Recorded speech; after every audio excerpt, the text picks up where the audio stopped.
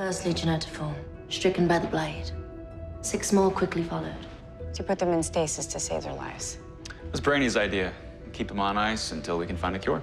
I was wondering why you hadn't woken them up to join the fight. We couldn't risk exposing your timeline to the sickness. Couldn't risk causing the very thing we were trying so hard to prevent. But we did prevent it. And with Pestilence defeated in this time, they were never infected. So their vitals are back to normal. It is imperative that Imra return to the future. We don't know that the Titan Alliance will have held given the change to the timeline. Every second we waste could bring us closer to intergalactic war.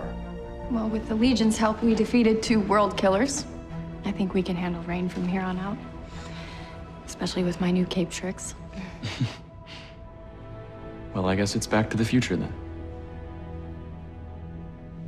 Which I do know is a movie title. I just like saying it. Mm, yes, honestly, what time traveler doesn't? Back to the future.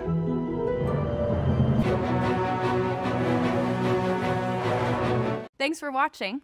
Subscribe to our channel to see more from Supergirl.